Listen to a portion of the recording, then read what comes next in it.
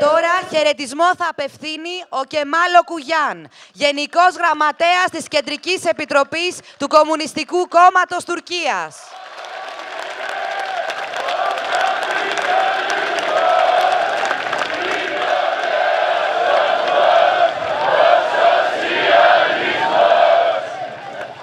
Sevgili yoldaşlar, Yunanistan Komünist Gençliği'nin yoldaşları, militanları, kardeş komünist partilerden yoldaşlar, dostlar, Türkiye Komünist Partisi adına sizleri büyük bir heyecanla ve iştenlikle selamlıyorum.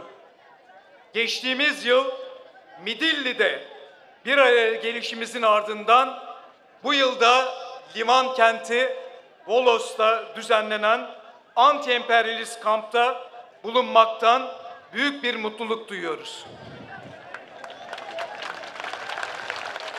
Αγαπητοί σύντροφοι, μέλη της ΚΝΕ, σύντροφοι των αδελφών κομμάτων, αγαπητοί φίλοι, εκ μέρους του Κομμουνιστικού Κόμματος Τουρκίας, με μεγάλο ενθουσιασμό σας απευθύνω ένα συντροφικό χαιρετισμό. Είμαστε πολύ χαρούμενοι που συναντιόμαστε ξανά ένα χρόνο αφού ανταμώσαμε στη Μυτιλίνη, φέτος στο λιμάνι του Βόλου. Αυτή η εκδήλωση πραγματοποιείται σε μια πολύ κρίσιμη στιγμή των εξελίξεων στο υπεριαλιστικό σύστημα, όπου μεγάλες δυνάμεις συγκρούονται με σκοπό την εκμετάλλευση των λαών, ενώ ο κίνδυνος ενός γενικευμένου πολέμου είναι πολύ άμεσος. Παρά τις μάτες προσπάθειες και των δύο πλευρών να δικαιολογήσουν τις άθλιες πράξεις τους, αυτός ο πόλεμος είναι ένας άδικος, υπεριαλιστικός πόλεμος και έχει ήδη αφήσει τη μαύρη κοιλίδα του στην ιστορία. Το υπεριαλιστικό ΝΑΤΟ, η Ευρωπαϊκή Ένωση και οι Ηνωμένες Πολιτείες Αμερικής που προσπαθούν να επεκτείνουν τη σφαίρα επιρροής του Ευρωατλαντικού Συμφώνου και να κυριαρχήσουν στο υπεριαλιστικό σύστημα με κάθε μέσο συμπεριλαμβανομένων των πολεμικών προκλήσεων, είναι υπεύθυνοι για αυτή την αιματοχυσία. Αλλά σε αυτή την περίπτωση, η καπιταλιστική Ρωσία, που προσπαθεί να επεκτείνει τη δική της περιφερειακή κυριαρχία και να έχει το δικό της λόγο στην υπεριαλιστική τάξη πραγμάτων, φέρει επίσης ευθύνη για αυτή τη μαύρη κοιλίδα. Είμαστε εδώ για να σταθούμε ενάντια σε αυτούς τους υπεριαλιστικούς πολέμους, οι οποίοι δεν έχουν καμία άλλη λογική εξήγηση από το να διαιρούν τους εργαζόμενους για να έχουν μεγαλύτερα κέρδη καπιταλιστές. Είμαστε ενάντια στο ΝΑΤΟ, ενάντια στις βάσεις, τα πυρομαχικά και τα αιματηρά σχέδιά τους. Είμαστε ενάντια στο να γίνουν οι νέοι μας πιόνια των υπεριαλιστικών οργανισμών. Η τουρκική κυβέρνηση υπέγραψε πρόσφατα το μνημόνιο που ανοίγει το δρόμο για την επέκταση του ΝΑΤΟ και την ένταξη της Σουηδίας και της Φιλανδίας σε αυτό. Βέβαια, η επιλογή της ένταξης αυτών των χωρών στο ΝΑΤΟ ήταν δεδομένη. Δεν ήταν αντικείμενο των διαπραγματεύσεων και αυτό που υποτίθεται ότι ήταν στο τραπέζι ήταν η λεγόμενη ασφάλεια της Τουρκίας. Ωστόσο γνωρίζουμε ότι ο Ερντογάν χρησιμοποίησε αυτή την ατζέντα για να ανανεώσει τους πολιτικούς και οικονομικούς δεσμούς του με τις Ηνωμένες Πολιτείες και άλλες ισχυρές υπεριαλιστικές χώρες. Απορρίπτουμε αυτές τις αιματοβαμμένες διαπραγματεύσεις. Το Κομμουνιστικό Κόμμα Τουρκίας είναι αποφασισμένο να σταθεί απέναντι τόσο στη φιλονατοϊκή αστική αντιπολίτευση, όσο και στη φιλονατοϊκή κυβέρνηση. Το Κομμουνιστικό Κόμμα Τουρκίας αντιτίθεται επίσης στο γεγονός ότι οι άρχουσες τάξεις στην Ελλάδα και την Τουρκία επενδύουν ταχύτατα σε εξοπλισμούς, στρέφοντας τον ένα λαό ενάντια στον άλλο, προωθώντας τα δικά τους ταξικά συμφέροντα ως εθνικά συμφέροντα και ταυτόχρονα συμμετέχουν στον πόλεμο στην Ουκρανία με διάφορους τρόπους. Αγαπητοί σύντροφοι νεολαίοι, ξέρω ότι σε αυτούς τους δύσκολους καιρούς κάποιοι νέοι στην Ελλάδα σκέφτονται να μεταναστεύσουν από τη χώρα.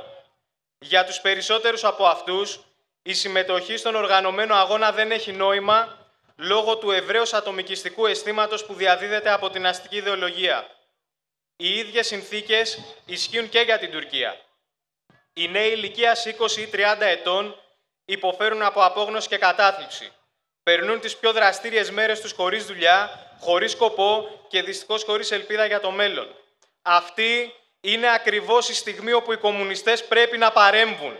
Δεν είναι εξαιτίας της έλλειψης πόρων ή ανθρώπινου δυναμικού που υποφέρουμε, είναι εξαιτίας μιας χούφτας πλούσιων ανθρώπων της αστικής τάξης που με τους πολιτικούς τους εκπροσώπους, τα μέσα μαζικής ενημέρωσης, τη βία και άλλα εργαλεία εκμεταλλεύονται την εργασία μας και δεν μπορούμε να επωφεληθούμε από όλα αυτά που θα μπορούσαμε.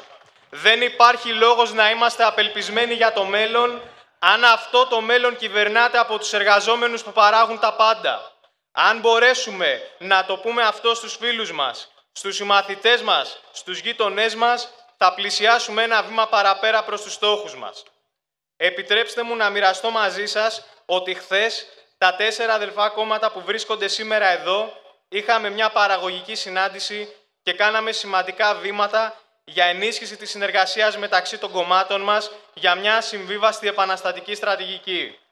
Ελπίζω ότι τα αποτελέσματα αυτής της συνάντησης, καθώς και η αντιπεριαλιστική εκδήλωση εδώ, θα σας δώσουν περισσότερη ενέργεια και έμπνευση για τα, τα νέα μέτωπα του αγώνα που θα ανοίξουν.